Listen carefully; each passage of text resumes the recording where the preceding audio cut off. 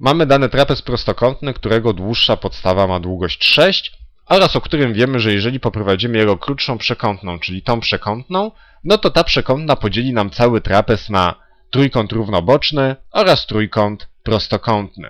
Musimy obliczyć obwód tego trapezu. Zacznijmy może od ponumerowania jakoś wierzchołków, żebyśmy mogli sobie w łatwiejszy sposób opowiadać o tym trapezie, czyli standardowo ABCD.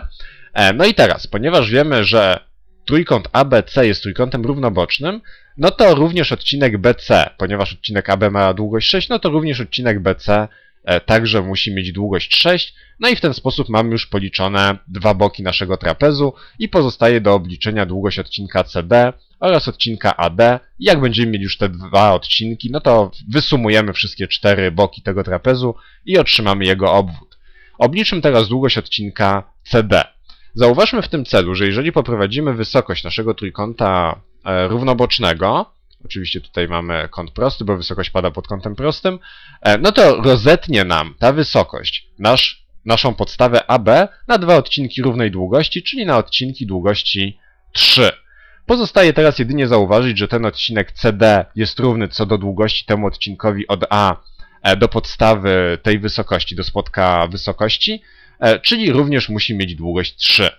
Żeby obliczyć teraz długość odcinka AD, no to możemy na przykład skorzystać z twierdzenia Pitagorasa dla trójkąta prostokątnego ACD, ponieważ wiemy, że ten odcinek AC ma długość 6, ponieważ to jest bok trójkąta równobocznego ABC.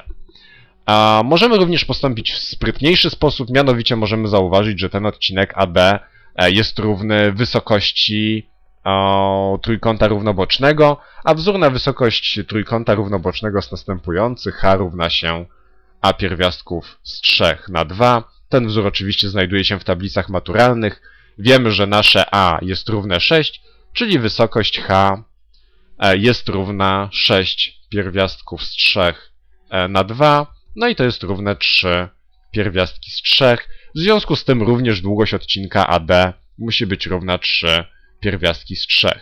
No i teraz, gdy mamy już wyliczone długości wszystkich boków, no to bez problemu liczymy e, obwód e, całego trapezu, który jest równy 6, plus e, odcinek BC, czyli plus 6, plus odcinek CD, czyli plus 3, plus odcinek AD, czyli plus 3 pierwiastki z 3 i to jest równe 12 plus 3, czyli 15, plus jeszcze 3 pierwiastki z 3.